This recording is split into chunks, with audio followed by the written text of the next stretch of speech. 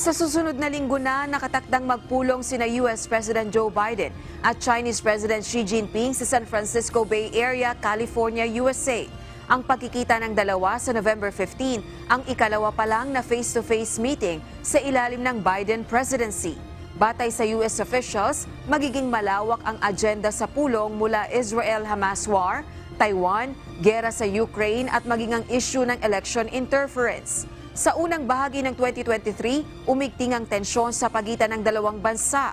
Ito ay matapos na akusahan ng Estados Unidos ang China ng pagpapadala ng isang spy balloon sa airspace nito. Pinabagsak ito ng isang American warplane sa baybayin ng South Carolina. Iginiit naman ng US officials na determinado ang American Chief Executive na ibalik ang channels ng komunikasyon sa China.